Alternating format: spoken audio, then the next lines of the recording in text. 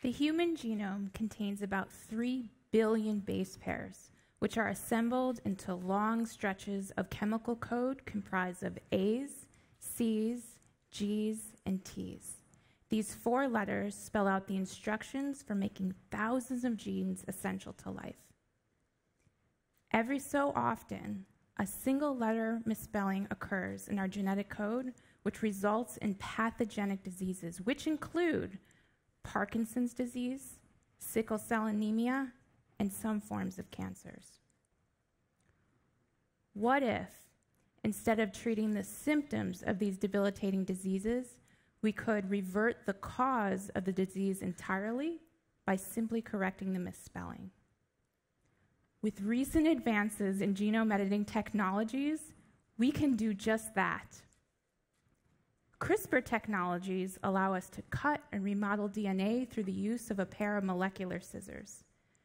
Unfortunately, these scissors aren't precise enough to edit the DNA at the single base level. Instead, what we really need is a molecular machine that can cleanly convert one base into another without cutting the DNA. We need to use a pencil and eraser and not scissors and glue. Base editors are the pencil and eraser alternative that can precisely make single letter edits in the DNA without cutting.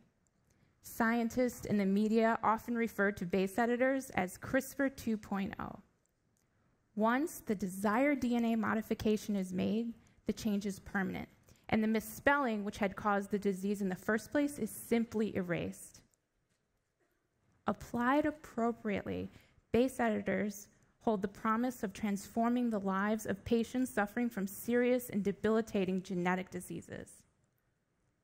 We dream of a future in which the fear of a diagnosis of a genetic disease is no longer present. Already, Base editors are in the hands of researchers across the globe working towards this goal. The future is happening now, and that dream, that dream is becoming a reality.